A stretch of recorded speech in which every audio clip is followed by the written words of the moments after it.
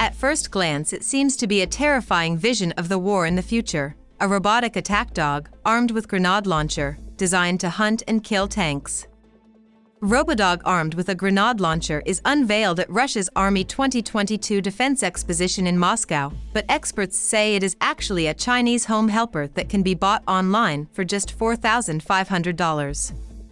Far from blowing up heavily armored vehicles, the dog is actually designed to follow a human companion around like a pet, carrying relatively light loads of up to 3 kilograms or roughly the weight of an unloaded grenade launcher. The dog is shown carrying weighs around 5 kilograms, which would be too much for it to handle. The clue to the dog's identity was given away by a strange set of black pajamas it was wearing when its designers showed it off to state media. Rather than being a form of camouflage, the outfit actually appears to be designed to trick viewers into thinking it is new. However, internet sleuths say the robot's hexagon-shaped head and the position of two camera eyes peeping out of a slit in the front revealed the truth.